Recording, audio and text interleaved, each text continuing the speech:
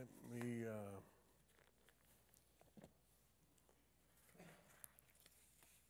let me share a couple of scriptures from uh, Isaiah 61. We were almost finished with that anyway, and I just want to share scripture uh, 10, 11 with you tonight. And um, because it talks about a covenant. Now, y'all, y'all know what a covenant is. Everybody in here know what a covenant is. Basically, a promise that can never be broken, Both never be broken. And uh, so, if you know what a covenant is, God made a covenant with Abraham that he would be his God, and Abraham would be uh, his child, and all the seed of Abraham. And that, that God would bless the seed of Abraham and the seed of Isaac. And that he made a covenant right then and there with Israel, basically the future of Israel. And his covenant was that he would be their God and he'd always be with them. He'd never leave them or forsake them. And if, folks, I'm just telling you, this is important because out of all the world today, what's going on with Israel, when all the nations forsake Israel and not get involved and let Israel appear to let Israel be destroyed, God won't. And if you there's there's one that you want on your side when you're in battles, and that is God. He's the only one that you need. I don't know how this will work out. I don't know if what we're seeing is the beginning of the last of the last of the last of the last of the last day, and that trump will sound. It could be. So I'm just telling you that uh, the Lord will stand with Israel. He will, he will not forsake them. And so that I love this covenant he makes. Uh, and he brings salvation and righteousness. This is what he does, and this is what Isaiah is speaking that upon uh, Israel. I will greatly rejoice in the Lord. My soul shall be joyful in my God. Is your soul joyful in your God? I mean, He's our God too. And, you know, you have your good days and bad days, and I'm just going to tell you. Sometimes you have, when you have bad days or you hear bad news or you're overwhelmed with everything, you need to know that your soul, you need to know that God is there. Never leaves me nor forsakes me. He gave me the same promise, same covenant. The Bible teaches that. The Word of God teaches that. To the man that would take him as Lord and Savior, he says, I'll graft you into this vine. You'll be birthed into this family. You'll be forever mine. You're my adopted child. I'll never leave you nor forsake you. And he's always there with us. When everyone else seems like they're gone, God is there. Always. So he's covered me, it goes on and says, He covered me with a robe of righteousness as a bridegroom decks herself with ornaments. And of course, we know that the bridegroom is the church. We know that one day he's going to come back and he's going to take his bride to, to heaven. We're going to have a marriage supper of the Lamb. It's going to be really good. And, um, and the bride adorns herself with jewels. And you know what? If you're, if you're, if you're loving, if you're, if you're in fellowship with the Almighty God and Jesus Christ is our Savior and our, our husband, so to speak, from the church's standpoint, then what type of adorning should you do? Pleasing God, walking with Him, seeking Him, doing righteousness, living a holy life. These are things you, you're to do so when He comes for you, that you will, you will be, I'd say, beautiful or in the graces of God. And as the earth brings forth its bud, as the garden causes the things that are sown in it to spring forth, so shall the Lord will cause righteousness and praise to spring forth before all the nations. I don't know You know, I can only tell you that there's been times in history when you can read history and realize that nations have come to know God and, and they have sort of been spring forth a little bit, but we got to be talking about the end where all nations will come to know God, many people, many tribes, many nations. And when they do, they'll spring forth. You know, uh, I went down to uh, the land the other day because I heard there was the rain coming. This was a couple of weeks ago. There was a rain coming. And so I went down there and got out the tractor and the plow and, and dished up this, the soil. Broke it up to where it'd be, you know, fertile, as they call it, or loose. Sowed the seed on it and then covered the seed. That's all great. But if no rain, that seed won't grow. So the rains came. And I went back out there the other day, and guess what? There's all these shoots popping up. And so what you, yeah, I, I got a green thumb after all. Even though I do, even though I do it from a, a tractor and I just throw stuff out there and I go, God, you're to have to make it grow because I certainly can't. However, it popped up. And you know, um, when you stop and think about that for a minute, your life, your life, God took your life. You were dead in your trespasses and sins. You needed to die spiritually to that. And that's exactly what a seed does. It kind of, when it germinates, it, it's a process it goes through, past to spring forth. And so, what happens in your life when God took a hold of it? He you were dead in your trespasses and sins. You gave that all to Him. That's all washed away. And then He began to rain on your life like you had never seen before. And you start, and, and something beautiful springs up. What is it? It's a changed life. That's what it is. And I'm going to tell you, God loves it. God loves it when a man changes. And. Um, and he'll continue to do that. So I just wanted to tell you that this covenant that God has made with Israel, he made it with us as well. And God will never leave you nor forsake you. Now, you believe that tonight? That's what the scriptures say. God will never leave you nor forsake you. He is always with you.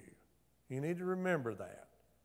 Because I have to remind myself sometimes when the world starts pushing against you or something ain't going my way, oh, pitiful me, right? That's how, usually what happens. You get thinking about all the problems, all the troubles. And then all you got to do is for a moment sit down and think, God is with me. God knew all of this way before I knew it. Now, what's his plan? Maybe something needs to die so it can spring forth. Maybe something needs to be put in the ground. The seeds need to be sown. What does God need me to do? And I'll tell you what, God leads you out every time. And He, he does that. So we get over into Isaiah chapter 62. Israel, if you got or you got a study Bible, Jerusalem is loved and protected. Do you know that? Well, it is. When you hear the Zion mentioned, Zion is a direct translation to meaning Jerusalem or even in whole Israel. So this is what it says For Zion's sake, I will not hold, back, hold my peace. For Jerusalem's sake, I will not rest until her righteousness goes forth as brightness and her salvation as a lamp that burns. The Gentiles shall see your righteousness, and all the kings your glory. They shall be called, they you shall be called by a new name. God has a, God has a way of changing your name. I mean, he's good at that. He's changed old Saul to Paul, right? Used to be Saul, now he's Paul. I mean, God has a, and then he's going to change your name into a new name in heaven. Remember? We talked about that in the churches. Your name's going to be written on the column in the, in the, in the, in the New Jerusalem. And so your name's written there. Who knows what it's going to be? Just like I said, I hope I can pronounce mine. And then he said, I'll give you, I shall call you a new name, which the mouth of the Lord will name. He'll give you that name. It comes from him, no one else. You shall also be a crown of glory in the hand of the Lord, a royal diadem in the hand of your God. Now look at that. I like that last part of your God. He's my God. If he's your God tonight, I hope he's your God. So he, he's our God, but he's, I love it when God talks about over in Revelation where I'll wipe away all their tears. I will be their God and they will be my people. I love that when it says that because I'm in the household of God at that moment. Um, you know, we sing a song, talks about the royal diadem. It's a crown, it's a headband, is what it is. It's a symbol of sovereignty. That's what it is. And so here's Zion that he talks about Jerusalem.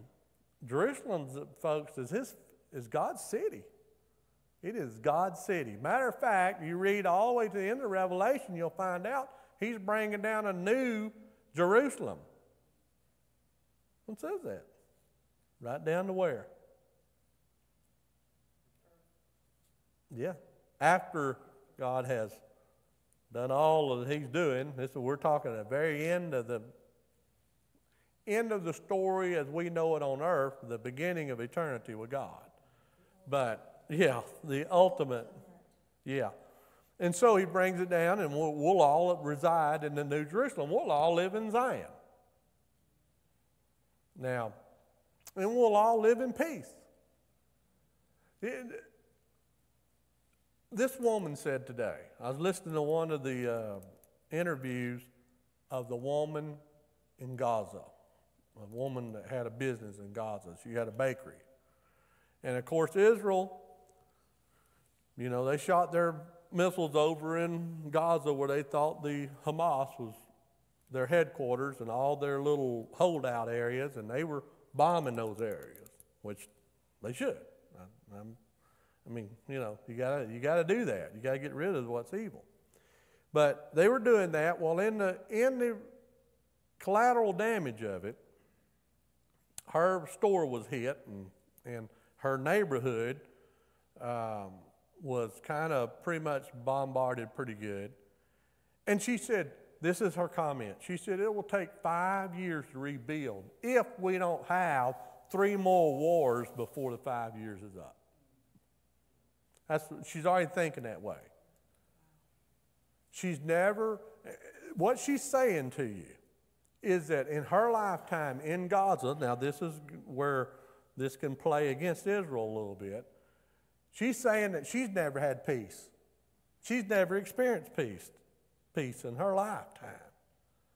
And she's trying to, she's just trying to live. That's the idea she's giving you. She's just trying to live, not hurt nobody, sell a few bakery and make a living, and but they're not going to let it happen because there's going to be war constantly.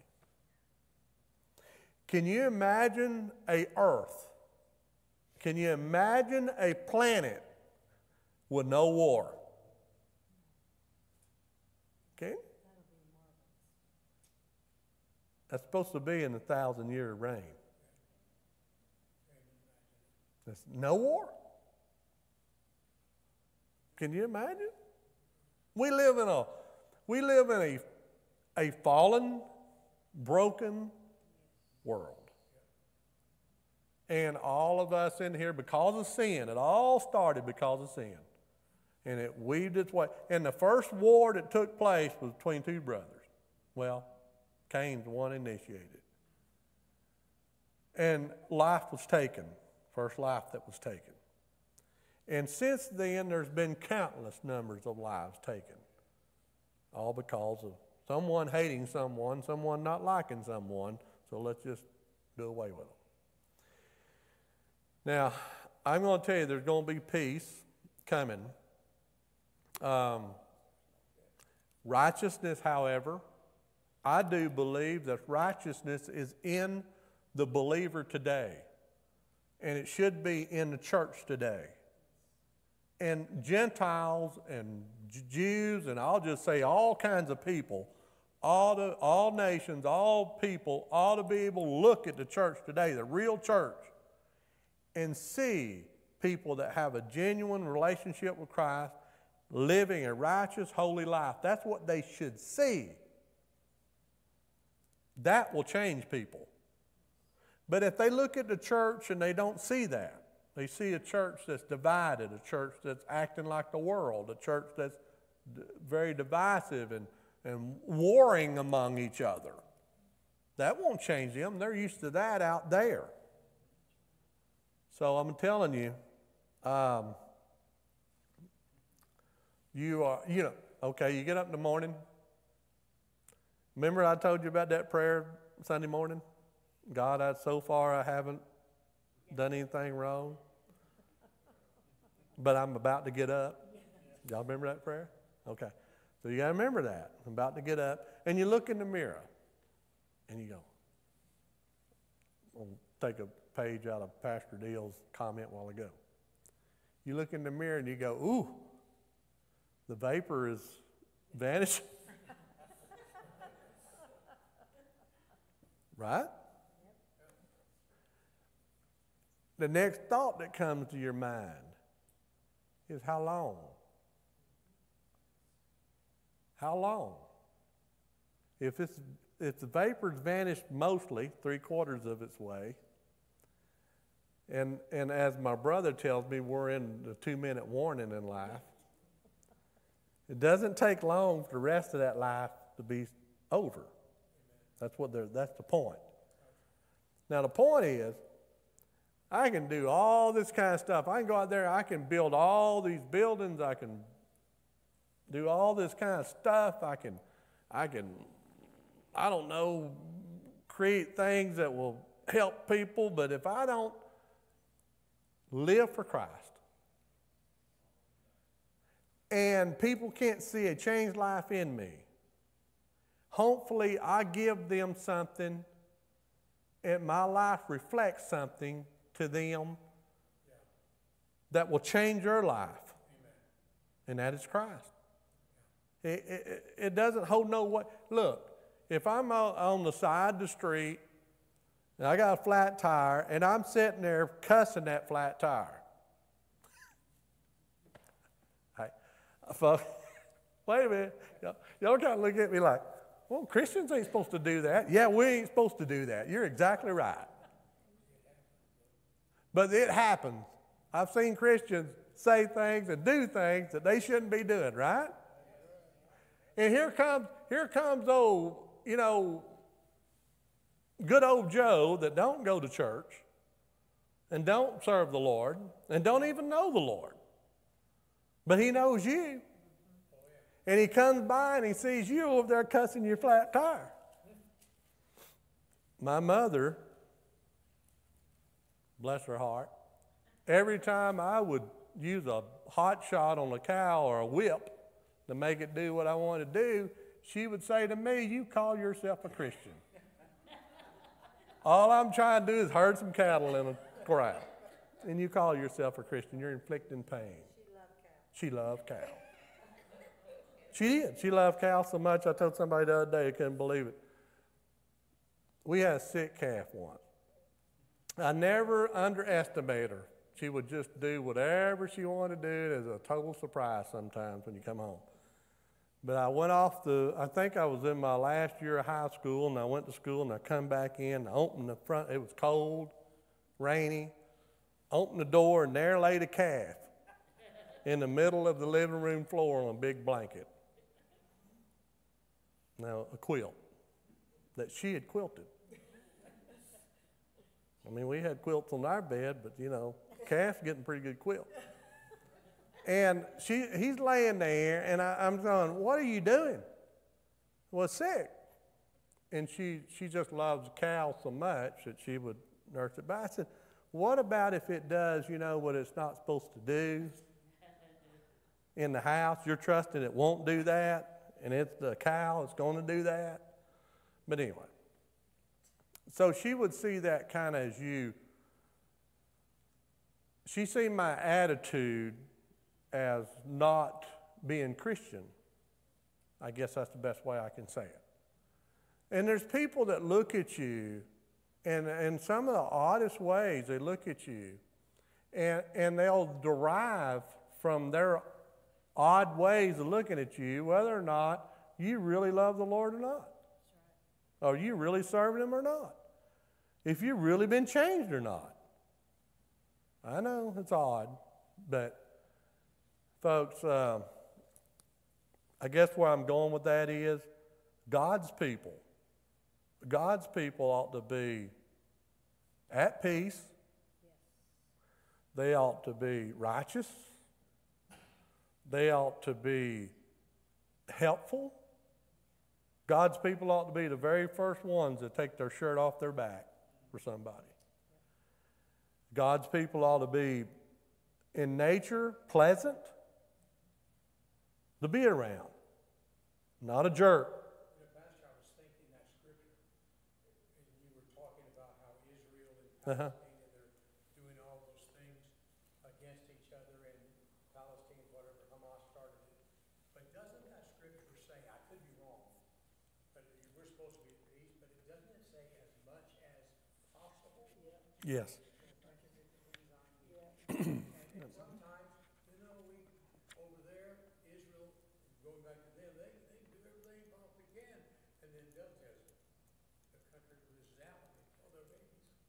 I know. As much as possible. As much as possible. Wow. Anyway,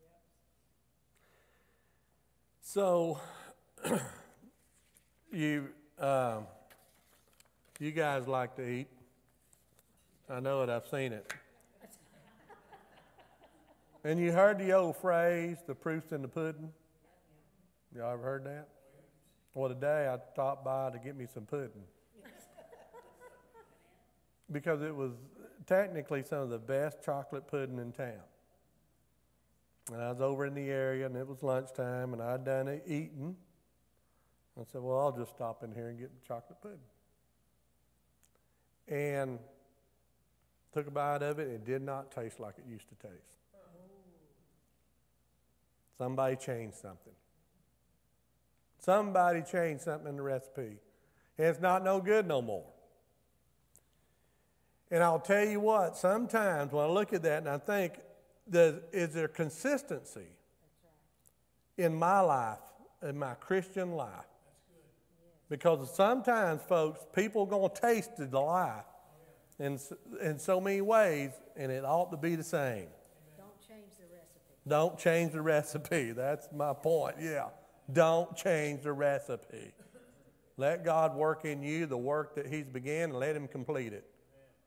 And don't ch- stop it and say, oh, Lord, I don't want that. I don't want to change like that. I don't want to transform. I don't want to add that ingredient to my life. I want it this way.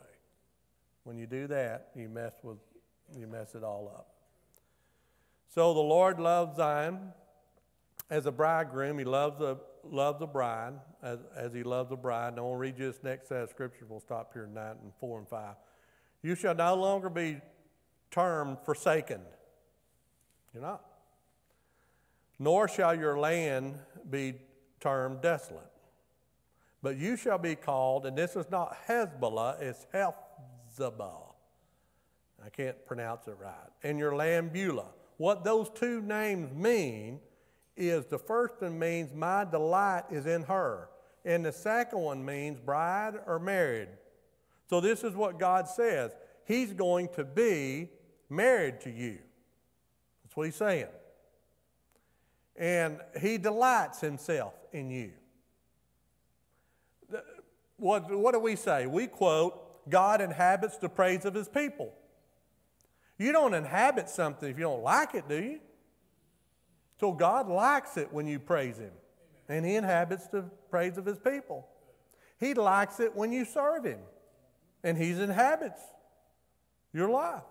I mean, it's just it's just there. It's you're a delight to him when you're serving him. But what about when you're not?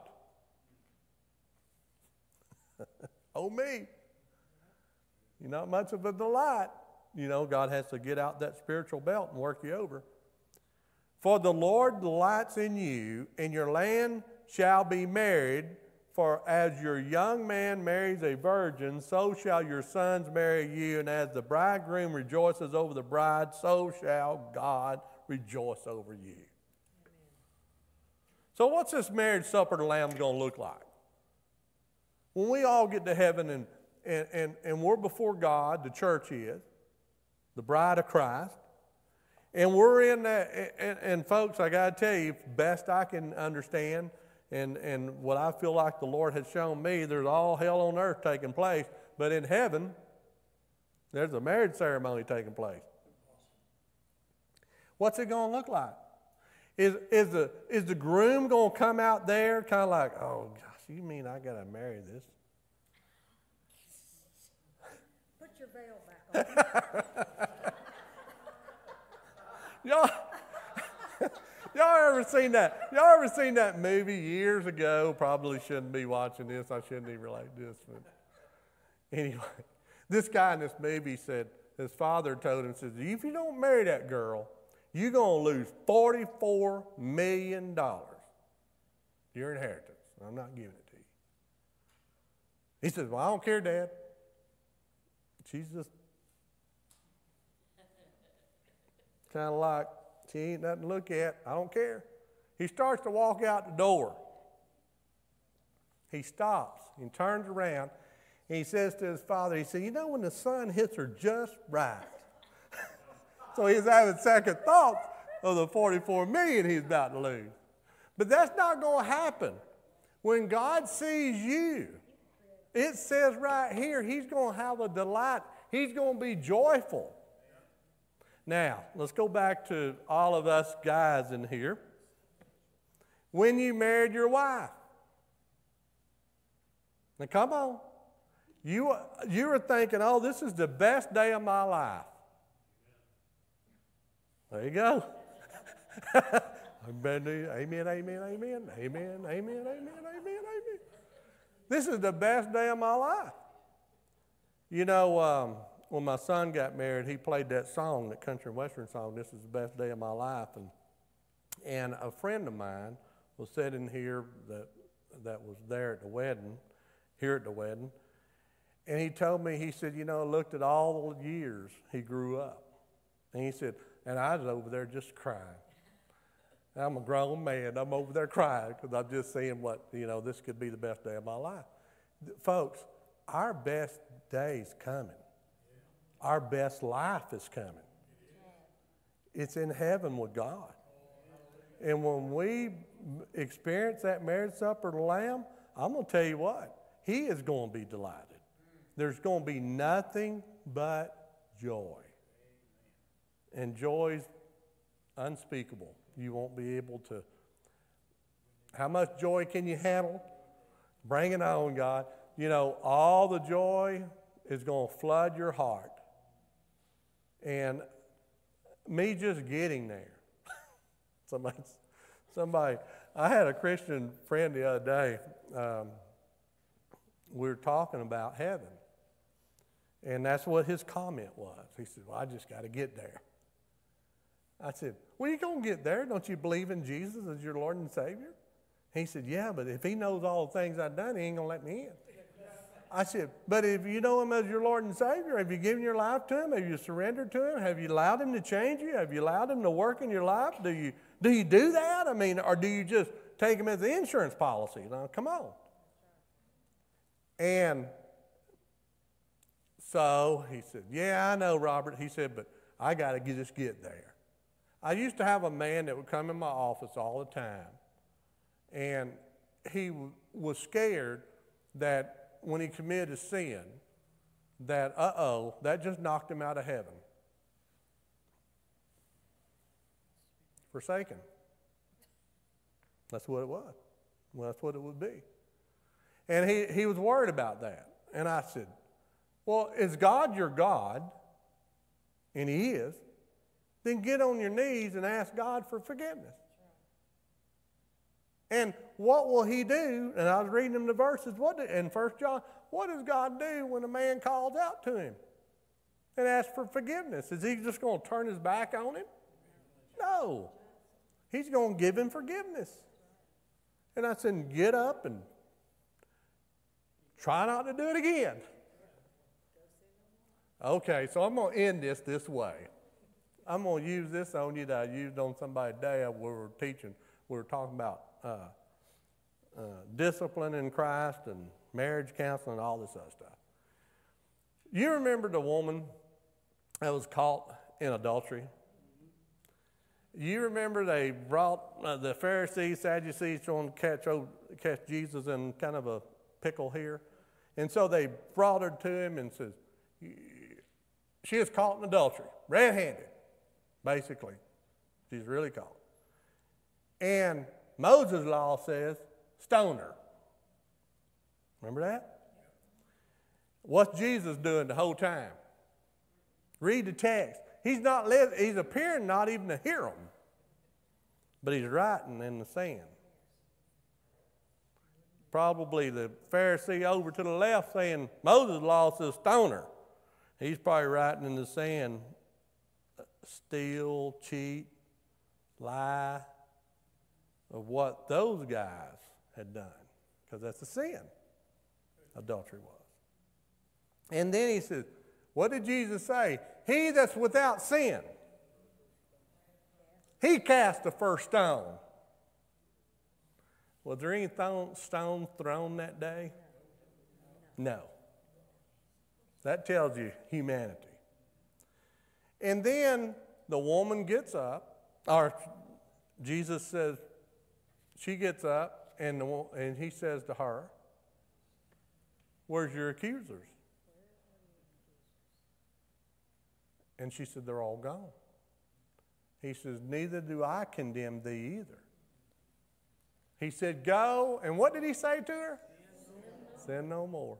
Oh, I, told, I said, that's the, if, if he'd left off that last part, if he just said go, you know, but he's trying to, he's trying to tell her, look, I forgive you that.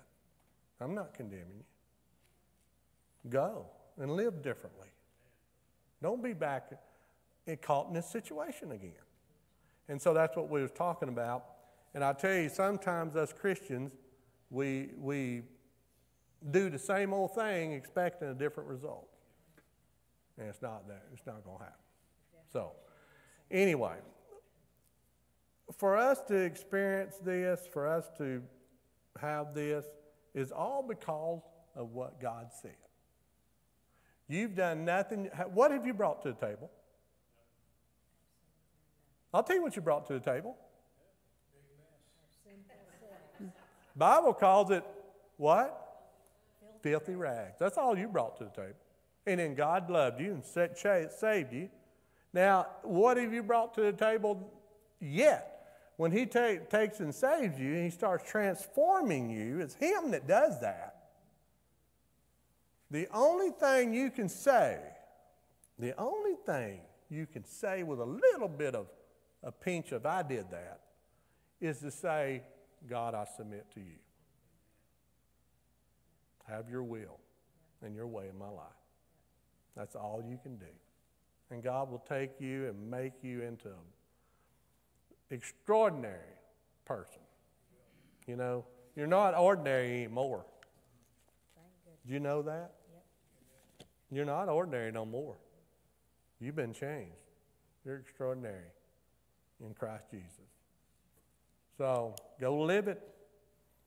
Tell everybody you can about it. And we're going to see where Isaiah was prophesying to Israel what's coming, the joys of that's coming. And I'll tell you what, Jesus is coming. And when Jesus arrives, Israel peace.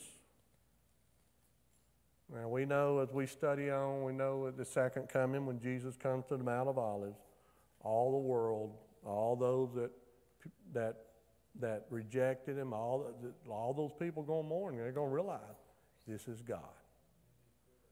This is the Son of God. So uh, let him have his will and his way in your life tonight. Father, I thank you for this day and thank you for the opportunity, Lord, to be in your house tonight. Lord, I, I truly want to live for you. Lord, and I know these hearts in here as well, Lord, they want to live for you. Father, I know that we're a mess sometimes. I know that we can get ourselves in trouble.